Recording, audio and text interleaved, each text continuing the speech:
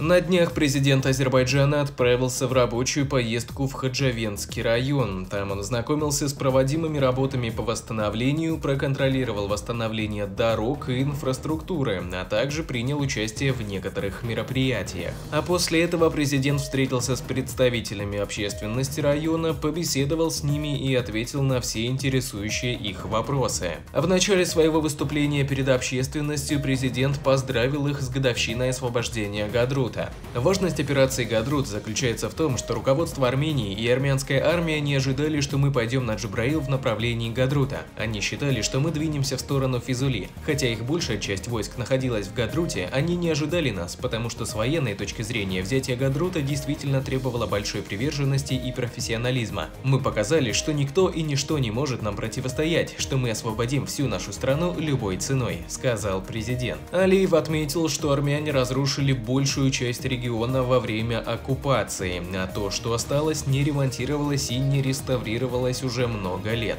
А по словам президента, люди просто жили в нищете и разрухе. Все это свидетельствует об истинном отношении власти Армении к своим гражданам. А власти, получившие миллионы на развитие своей державы, просто воровали их и набивали карманы. Мы собираемся восстановить Гадрут. Мне представили генеральный план Гадрута, его первоначальную версию. У меня было много комментариев, поэтому я не принес принес этот план с собой сегодня. Новый план, он будет представлен и мы его утвердим. И сегодня восстановление Гадрута уже началось, заложены дороги. В Гадруте строятся четырехполосные автодороги Гадрут-Джибраил и Гадрут-Физули, строится подстанция Гадрут, закладывается фундамент и начинается строительство мечети. Я также заложил камень фундамент мечети и считаю, что это тоже историческое событие. Поскольку большинство жителей села Гадрут в советское время были армянами, они явно не позволили бы построить здесь мечеть, заявил Алиев. А после После своего обращения он пожелал людям мира и добра, подметив, что азербайджанская власть приложит максимум усилий для выполнения своих обещаний.